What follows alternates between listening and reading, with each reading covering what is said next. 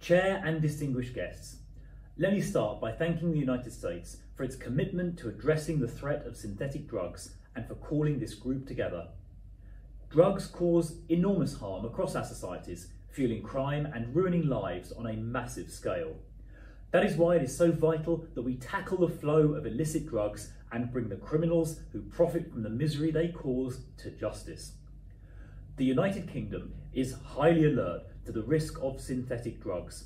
We are continually monitoring trends in drug misuse and supply for new or changing threats. The United Kingdom's drug control laws provide us with a strong and flexible framework for protecting the United Kingdom against new threats as they emerge, in line with our international commitments.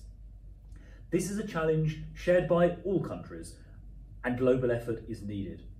I reaffirm today the United Kingdom's commitment to tackling synthetic drugs and to international cooperation on this issue.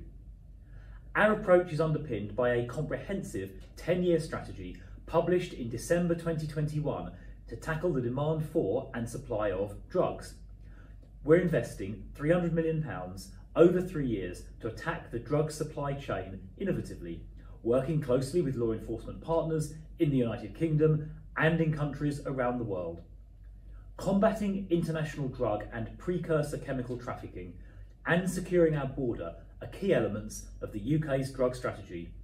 We support international cooperation in this area and welcome the opportunity to share insights and drive progress collectively. We assess that the risk of synthetic drugs is increasing. United Kingdom agencies are highly alert to the risk of synthetic opioids like fentanyl, as well as synthetic cannabinoids and benzodiazepines, which have been linked to drug-related deaths in the United Kingdom. We already control several fentanyl precursors, and we will be controlling three further fentanyl precursors to meet international obligations. Additionally, we have announced our intention to control 11 potent synthetic opioids. As we bear down on drug supply chains, we must also break the cycle of addiction and help people rebuild their lives. Therefore, alongside disrupting supply, we're investing an additional £780 million, nearly a billion dollars, over three years to build a world-class treatment and recovery system. We also aim to achieve a generational shift in the demand for drugs. We're developing and building evidence to shape our approach with the aim of putting in place a system which deters and ultimately reduces drug use in our society through swift and certain interventions and, where appropriate, diversion into the criminal justice system. Through these measures and many more, the UK is determined to turn the tide of drug misuse.